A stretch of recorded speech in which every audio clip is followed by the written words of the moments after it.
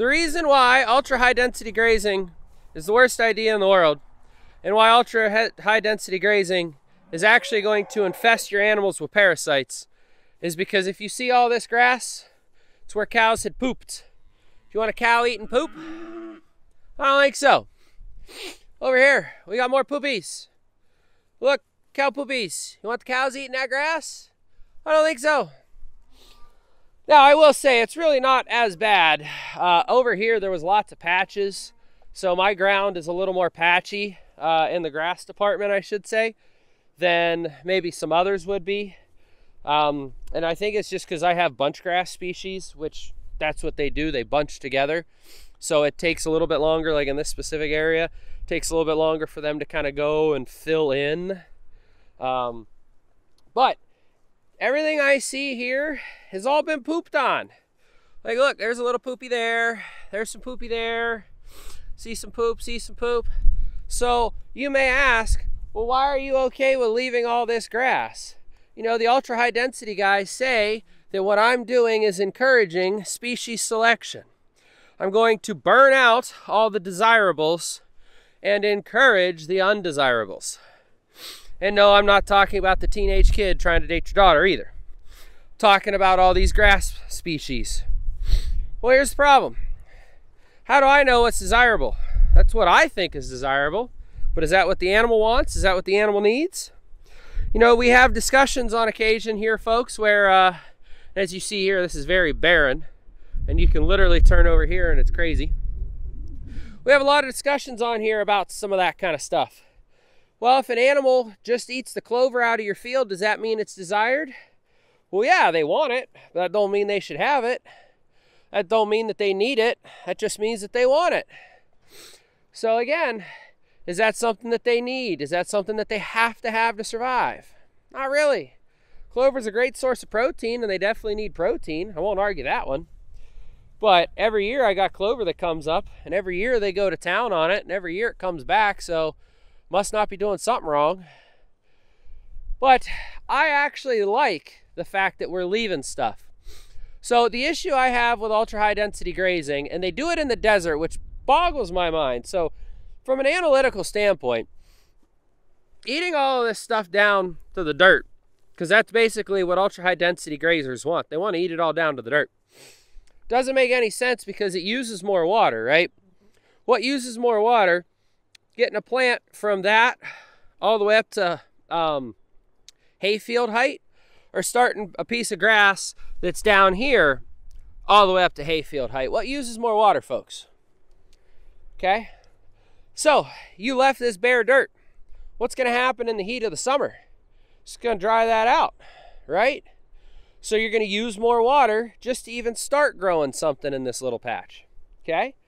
So again, it doesn't make any sense, but yet these people love it. These people do it. They say they get better growth that way. You know, I think what it is is because they let their ground go fallow for a year. Lots of farmers out in Montana will let their some of their ground go fallow for a year because what it does is it allows water to be held in the soils. Now they do spray with chemicals, so you know that's not necessarily the best thing in the world to keep the weeds at bay. But they go fallow so that they can hold moisture in the soil so they have a better crop the next year. So is that what these grazers are doing? Are they basically allowing this ground to go fallow for a year, whether it's unusable for a year, so that that way they can have a better return the next year? Hey, knock it off. I don't love you. You were adopted. So again, folks, you have to look at the totality when you're considering these different things. For me, that would never work, and I'll tell you why. Multiflora rose, autumn olive, black locust, or honey locust, or any locust in reality. Um, and any other non-native invasive species. So for some of you that may be kudzu. Uh, for some of you that may be like, oh, there was a tree, I think. Well, I know Ailanthus, tree heaven is one, but there was a tree that people were really wanting to plant and it, it took off and I forget what it was. Um, but you know, it's like stuff like that where in my area, I can't do that because it is in the soils and with proper management, they stay at bay without having to do anything crazy like um, cutting or spraying or anything like that. But if you let it go fallow, those are first succession plant species, which means they grow first. Get a little sciency on you there. So again, folks, it's it's that whole deal for me that's like when you sit down and use logic, it doesn't make sense.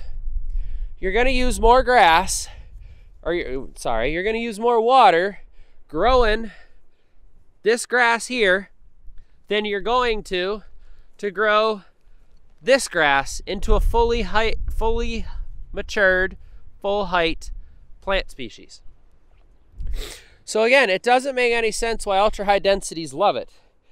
But again, if you don't have the water, once it's tall enough, it holds water better. So then you would say, well, why don't you do the take a third, leave two thirds method, right? Like to me, again, this would be the most ideal because look at all this grass that's going to hold moisture in this soil down here. That's going to keep water in your soil so this can grow better. Wouldn't that be the most ideal? Well, they say then the grasses just burn out. Okay, then how do your grasses grow anyways then? If those grasses are going to burn out, how do the grasses grow when you leave it go for an entire year? Because at some point they'll get that height. And at some point you're going to have a grass that's that height in the middle of summer getting burnt out. It just doesn't logically make sense, folks. I'm not saying it doesn't work. I'm Not saying that you can't use it. I'm just saying it doesn't logically make sense for my environment, for what I'm seeing with the soil and what I know to be true with the soil. Again, my issues in the summertime are low rain, high heat. So I want to leave as much soil armor, as some may call it, as possible. And also to add, the folks that say as soon as plants go to stem, they're garbage, I'd like to say that that's false because a lot of this went to stem already. And a lot of folks would tell me that I need to graze that before it even gets to stem. But again, folks, not a hypocrite. I like what I do because it works for my ground and in my area. I get different waters than you do. I got different soil types and textures and fertility than you do. And I know that to be true even across a road ditch because one side of the road ditch may have been reclaimed quarry ground or coal mine ground or strip mine ground and the other side could be native native grasses, native pastures.